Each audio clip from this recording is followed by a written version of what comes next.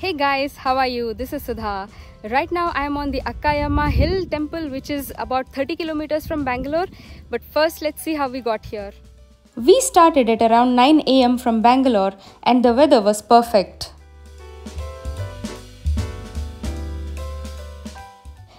We passed through beautiful farms and found an idyllic spot to have our pre packed breakfast under a mango tree.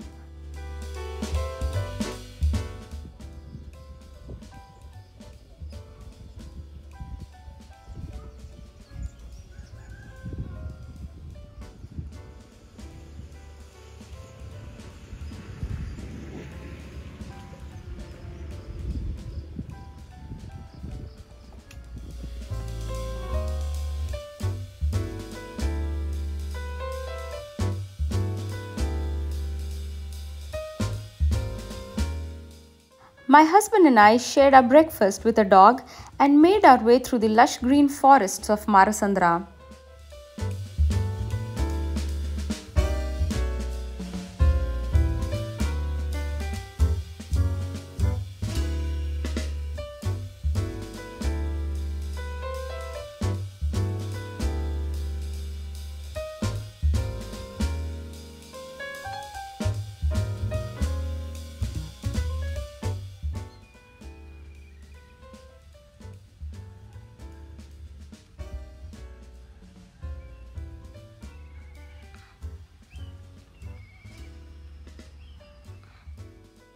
On the way to Chikkajala Fort ruins, we passed through many Banti and Chamanti flower farms and we couldn't resist walking among them. They smelled divine.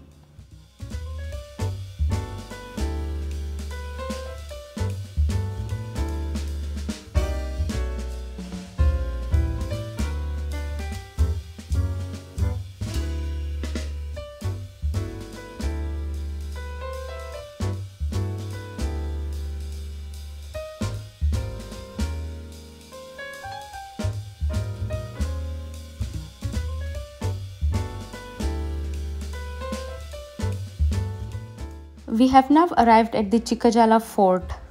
Origins of Chikkajala Fort date back nearly 3000 years, as per the estimation by the Archaeological Survey of India. This fort had a beautiful entrance which was demolished by the government for the construction of high-speed highway 9 years ago. Historians and archaeologists say the burial grounds date perhaps back to 1000 BC. Recent history says the fort walls were built during Tipu Sultan's time, 1750 to 1799, and they resemble the stone walls of the moat at Tipu's Devanahalli fort, where he was born a few kilometers away.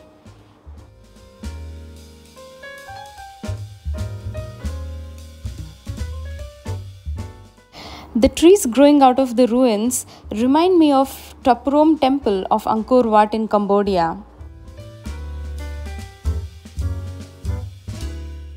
These are pillared halls. Both the halls and passage are built of stone. Pillars stand after centuries of decline. Archaeologists are of the opinion that this was never a fort, but simply a walled temple complex. The lack of bastions and the fact that the walls are simply not thick enough to withstand cannon fire make it unviable for defensive purposes.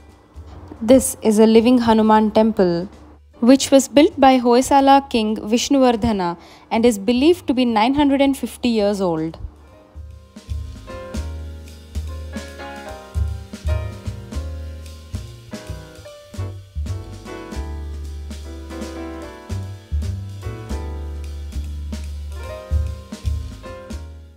We spotted a lot of mysterious carvings on the steps leading down the stepwell from the temple. This is the most interesting carving we've seen.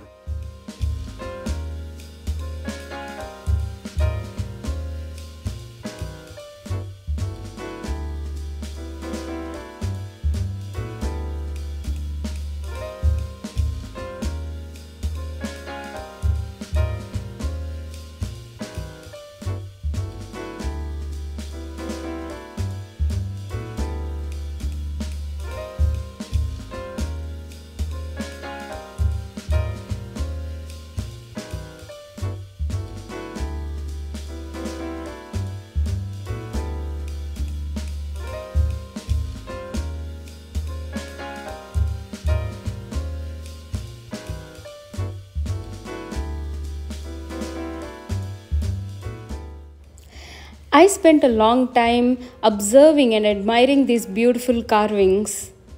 This fort wears a deserted, gory look with no one to upkeep the historical monument. The architecture has elements of both pre Islamic and Mysore style art, thus indicating that some portions might have been constructed when the previous structures fell through.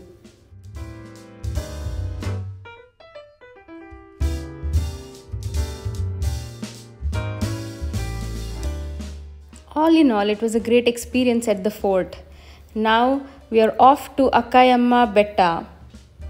So, Akkayamma Betta is a small hillock which is about 22 kilometers from Bangalore.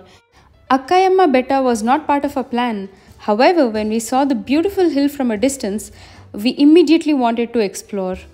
Upon arriving, it being Dasara time, we were met with a lot of devotees. It was a pleasant surprise.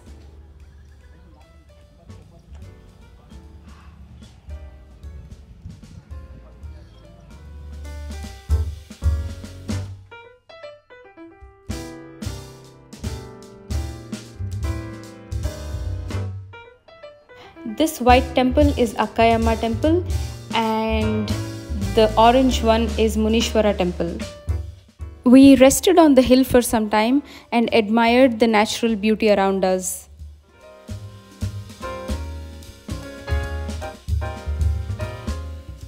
Natural or not, I really loved these layers.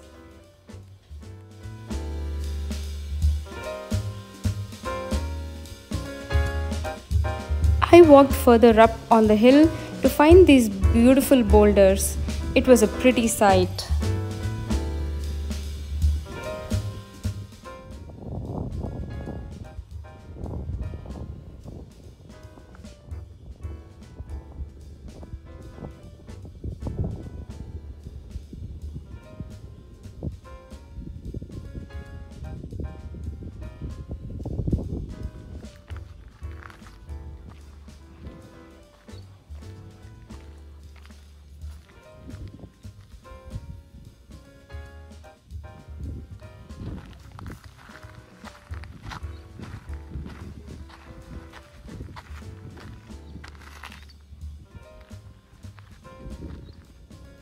This hill is just spectacular.